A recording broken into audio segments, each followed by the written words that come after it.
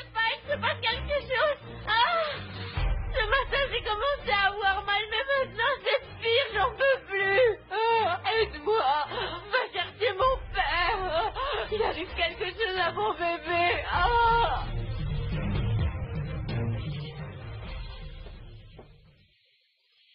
Grand-mère, je, je vais me préparer quelque chose à dîner. Bien.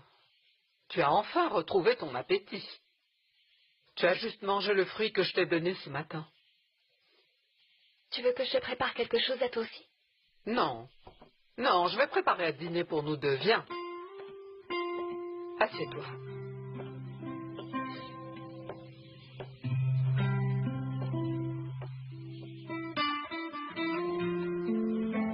Comment tu as su quelles herbes avaler? Depuis que je suis toute petite, je t'entends parler de toutes ces herbes, grand-mère. Je t'ai vu en prescrire à des gens. Je sais ce que je dois prendre pour ne plus avoir mal à la tête ou, ou pour soulager un rhume. Et je sais aussi quelles herbes peuvent faire beaucoup de mal.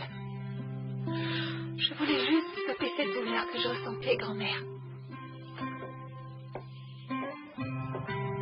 Paloma. Avec les herbes, on ne joue pas. Et précisément parce que tu m'as vu les utiliser, les prescrire toute ta vie, je m'attendais à ce que tu sois plus responsable et respectueuse.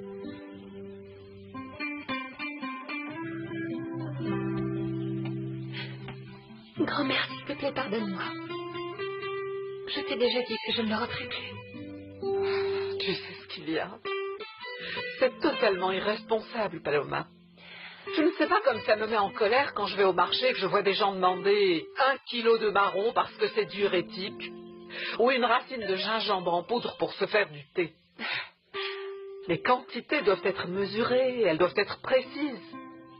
Parce que sinon, la majorité des herbes peuvent faire plus de mal que de bien. Je sais bien, grand-mère.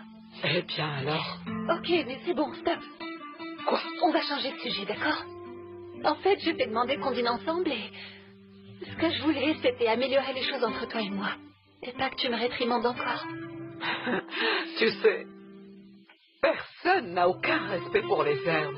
Ils les utilisent comme ça sans réfléchir. Tu sais, ce matin, quand je suis entrée pour te prendre quelques pommes dans la cuisine des Tovars, je suis tombée sur des herbes qui...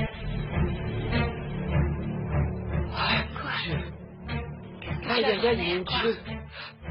Non, non, cette jeune fille ne pourrait pas, bien sûr que non. Mais sa mère, non. Oh mon Dieu, pourvu que ce ne soit pas ça.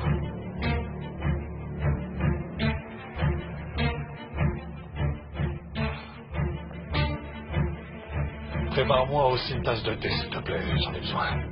Non, non, non, Edmundo. Ces herbes, ce n'est pas du thé, je les utilise pour autre chose. Elles ne servent pas à calmer les nerfs, mais à faire perdre du poids et... Mais quoi encore? Mon Dieu, Bégonia, tu n'as pas besoin de prendre ça, tu as toujours été une femme mince, qu'est-ce qui te prend Non, non, non, je n'en prends pas, t'inquiète pas. En fait, il y a quelques semaines, je, je me suis rendu compte que Sabrina mangeait beaucoup trop et qu'elle prenait visiblement beaucoup de poids. Et, et au début, je ne voulais rien lui dire pour ne pas l'angoisser. Et, et, et- et j'ai commencé à lui donner ça. Ces herbes, pour qu'elle le sache, pour qu'elle ne le prenne pas mal. Jusqu'à ce qu'hier, je la vois entrer dans les toilettes et en, en fait, en fait, je n'aurais jamais imaginé qu'elle puisse être enceinte, Edmundo. Je te jure, je ne le savais pas. Qu'est-ce que c'est que ce truc hein? C'est, un mélange d'herbes qu'ils, qu'ils vendent sur le marché pour... Je ne savais pas, Edmundo, je te jure que je ne savais pas. Dis-moi pendant combien de temps est-ce que tu as donné ça à notre fille? Deux ou bien trois semaines. Tu es vraiment inconscient, Bégonia. Comment as-tu osé donner à ta fille des herbes que tu as achetées sur le marché? Mais quel genre de mère es-tu pour ne pas avoir été capable de te rendre compte du problème qu'avait notre fille? Je ne suis pas la seule responsable, Edmundo. Toi aussi, tu es autant coupable ou pire que moi. Quel genre de père es-tu? Quel genre de médecin es-tu pour ne pas l'avoir vu non plus? Notre fille a disparu et nous ne savons même pas où elle est. Avec tout ce qui nous arrive, il faut que tu en rajoutes encore. Je ne savais pas, Edmundo. Je te jure que je ne savais pas. Il faut que je retrouve Sabrina. Il faut que je la retrouve. Va chercher mon père. J'ai trop mal. Euh, mais, écoute, si je fais ça, tes parents vont te retrouver, Sabrina. Oh, mais va le chercher, aide-moi. D'accord. Ok, c'est bon, je me dépêche, je vais le chercher.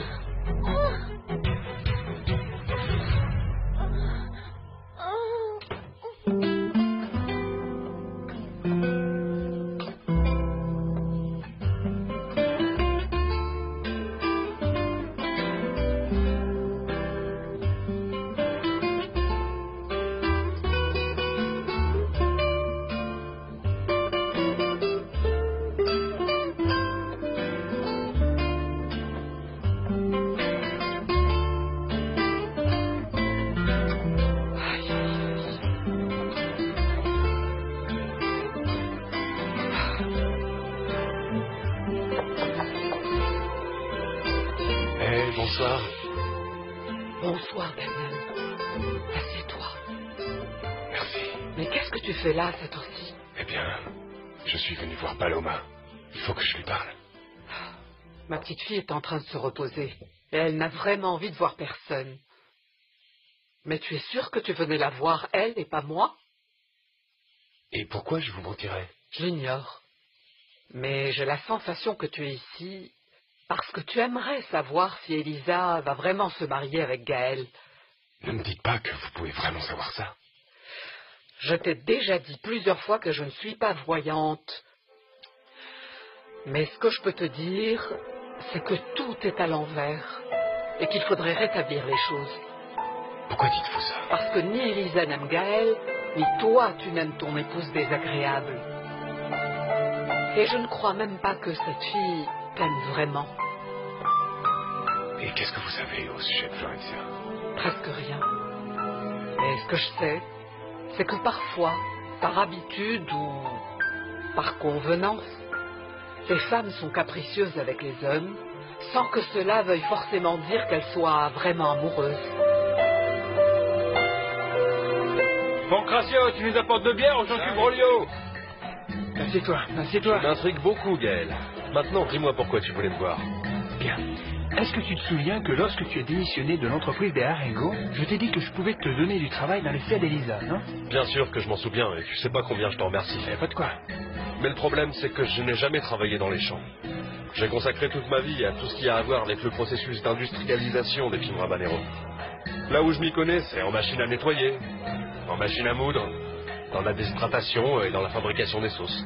Mais alors, c'est très bien, ça veut dire que tu as la même expérience que Monsieur Lucio, ça s'arrose. Attends. Autant que Monsieur Lucio, je ne crois pas. Lui, il s'y connaît vraiment dans tous les domaines. Eh bien, c'est précisément pour ces connaissances que j'ai une proposition à te faire. Et pour tout te dire, Elisa et moi, on a réfléchi, et on espère pouvoir compter sur toi. Au début, ça représentera beaucoup de travail et peu d'argent, Brolio, mais je te le promets. Écoute, je te le jure, tout va bien se passer, l'affaire va prospérer, et nous en sortirons tous gagnants. Mais tu ne m'as pas encore dit de quoi il s'agit. Vas-y, dis-moi de quoi tu parles là. Est-ce que ça te dirait de travailler pour le concurrent de l'entreprise d'Arengo J'ai préféré qu'on sorte prendre un petit café tous les deux pour ne pas avoir à parler chez toi et pour ne pas tomber sur ta tante. Je veux dire, je ne crois pas que ça lui aurait plu de me voir là après que j'ai refusé de l'aider. Il ne manquait plus que je me mette de son côté, alors qu'elle, tout ce qu'elle veut, c'est te porter préjudice. Et je te remercie beaucoup de vouloir m'aider, parrain. Mais je ne crois pas que ce soit une bonne idée de continuer à lui cacher. Tôt ou tard, elle apprendra que j'ai déjà remboursé la dette d'Alfonsina. Et elle saura que c'est avec l'argent de la vente du Celo Abierto de mon père. Non, ma chérie, comprends-moi. Cet argent, tu vois bien, c'est comme si ton père te l'avait donné en héritage. Et Carmina aura beau rouspéter, il faudra qu'elle accepte. Légalement, nous n'avons rien fait d'incorrect. Ça j'en ai conscience. Mais tant que vivrai à l'Hacienda, je veux vraiment essayer d'éviter tout problème avec elle, c'est tout. Alors écoute, pour y arriver, il faut continuer comme jusqu'à présent, sans lui dire quoi que ce soit de tout ça. Mhm. Et si vraiment elle finissait par l'apprendre, concernant le compte bancaire que t'a ouvert ton père avant de mourir, alors, ben on réglera ça le moment venu, tu ne crois pas? Je sais ce que je vais faire avec l'argent qu'il me reste et avec tout ce que je vais pouvoir réunir de la vente des récoltes. Gaël et moi, nous allons monter notre propre entreprise. Ah, parrain, mais ne fais pas une tête comme ça. Je crois que nous sommes vraiment capables de faire ça ensemble. Oh, mais ça, je n'en doute pas une seule seconde. Je sais que tu es tenace et aussi que tu es têtu. Non. Parce que quand tu as une idée dans ta petite tête, tu ne baisses pas les bras avant d'y arriver. Et la preuve en est, regarde cette serre que tu as installée sur les terres que t'as laissées ta maman. Ah, au fait, oublié. On a besoin de compter sur ton aide. Parce qu'on trouvera personne d'autre de meilleur pour diriger notre entreprise que toi. Oh, mon enfant, non. À présent, je suis trop vieux. Attends. Tu es en train de te donner une chance avec Marou pour former un couple. Pourquoi ne t'accordes-tu pas l'opportunité de prouver cela à tout le monde et de leur clouer le bec en leur disant que tu peux vraiment travailler? Alors, maintenant c'est qui le conformiste? Écoute, eh bien, il se peut que tu aies raison. Ah, hein? Je suis vieux, mais je ne suis pas un incapable. En plus, tu sais bien que tu pourras toujours compter sur mon soutien total.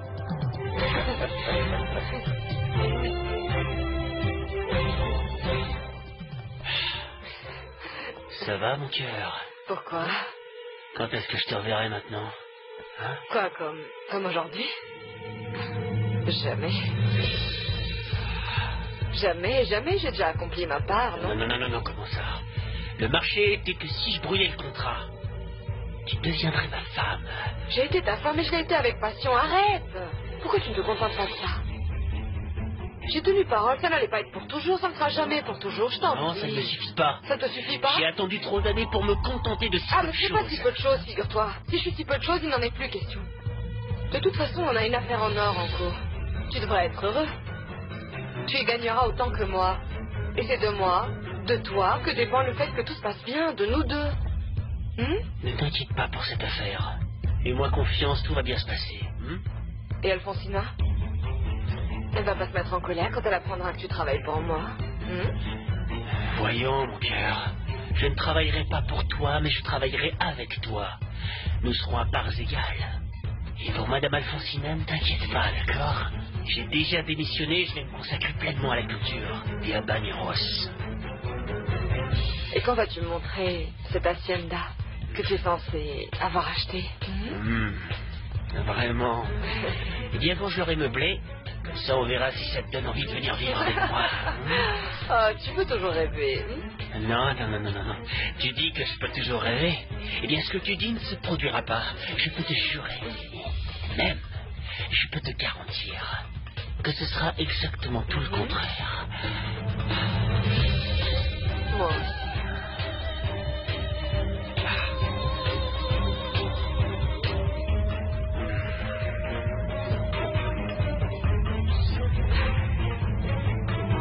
À moi. C'est bon? Tu as réglé ton affaire avec Gabino? Ah oui, oui, merci. Tout a été parfaitement bien réglé. Oh, j'espère qu'on ne t'a pas trop fait attendre. hein? Prends soin de toi.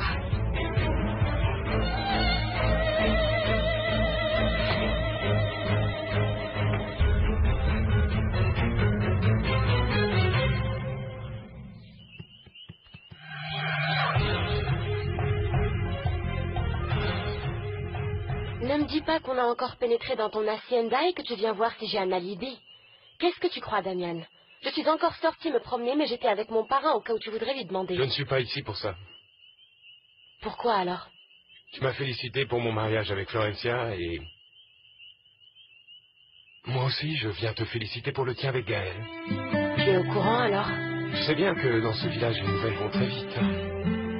Ma mère m'a dit que tu lui as remboursé l'argent que tu lui devais. Tout à fait. Et elle ne voulait pas l'accepter. Un de ses avocats a certainement dû l'obliger à le faire pour qu'elle me remette les documents. J'imagine que tu viens me demander d'où vient cet argent ou comment j'ai réussi à le trouver. Je suppose qu'il provient de la vente de la plantation. Je sais que Gabino avait donné une avance à ton père pour ses terres. Je vois que tu es très au courant. Elisa, on a vraiment besoin de parler.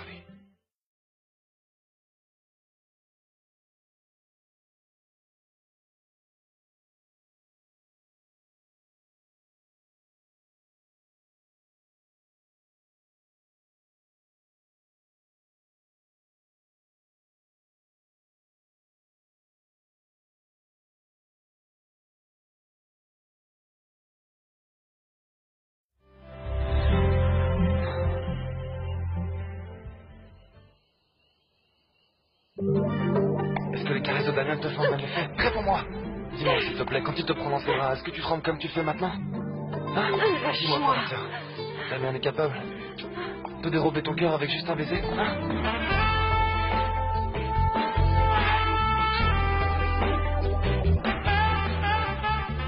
Dis-moi, Damien et toi, vous n'allez pas dîner, Florentia Damien n'est pas là. Eh bien, comme je me suis enfermée dans le bureau jusqu'au départ des Tovards, je ne suis au courant de rien. Tu sais si finalement Sabrina a fini par revenir? Non. Non. Tiens, je te prête mon éventail parce que tu as l'air d'avoir très chaud. Je crois que je ne m'habituerai jamais à ce climat. À vrai dire, ça ne me surprend pas que cette jeune fille soit enceinte de ton oncle Paolo. Mais s'il y a une chose qui m'interpelle vraiment. Quoi? Eh bien que Sabrina et toi, vous soyez tombés enceintes en même temps, non? Plus ou moins Eh bien oui. Oui, peut-être. Bégonia a dit qu'elle a remarqué que sa fille avait pris un peu de ventre. En revanche, toi, Florentia, tu es identique à il y a deux ou trois semaines. Non. Figure-toi que j'ai quelques robes qui me serrent un peu. Eh bien, c'est vrai que chaque grossesse est bien différente. Pour certaines, ça prend plus de temps pour avoir un petit ventre, n'est-ce pas? Hmm. Enfin, tu m'accompagnes pour dîner, je n'aime pas dîner seul. Oh, Alfontina, je suis si fatiguée. J'espère que tu veux bien m'excuser.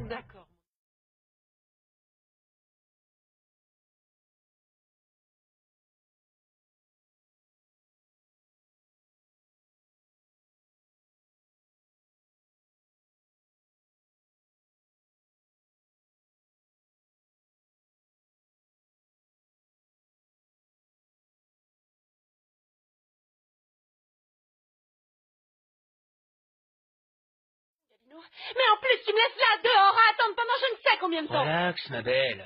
Il fallait que je parle en privé avec Carmina, c'est tout. De quoi tu as parlé? De quoi? Vas-y, dis-moi pourquoi c'était si long. Affaire. Quelle affaire? Pourquoi t'es si curieuse? Gabino, Hein? il vaut mieux que tu me le dises ou je vais en tirer mes propres conclusions. Quelle conclusion, ma belle? Ah, ne joue pas Ne joue pas l'idiot Tu sais très bien de quoi je veux parler. C'est bon. J'adore quand tu te mets en colère. Détends-toi un peu. Arrête, Tu mets des bêtises dans la tête. D'accord, Je- alors si tu ne veux pas ça, arrête, dis-moi, que faisait cette femme ici? Ça va, je vais te raconter. Mais détends-toi, s'il te plaît. Tu te souviens que j'étais sous contrat pour acheter les terres avec Augusto Castagnone Oui. Bon, eh ben, comme le vieux est mort, tout s'est compliqué. Et Carmina est venue parler de l'affaire, voilà, c'est tout. Et qu'avez-vous décidé alors? Moitié-moitié. On va tout diviser, faire 50-50, le matériel, les terres, etc. Ah, et c'est pour ça que cette femme est sortie si contente d'ici. Ma belle. Attends, ne me dis pas que t'es en train de devenir jalouse, toi. hein non, Gabino, je ne suis pas jalouse. non?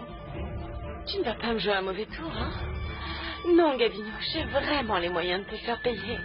Et très cher. Très bien. Hmm? Gabino Papa Papa?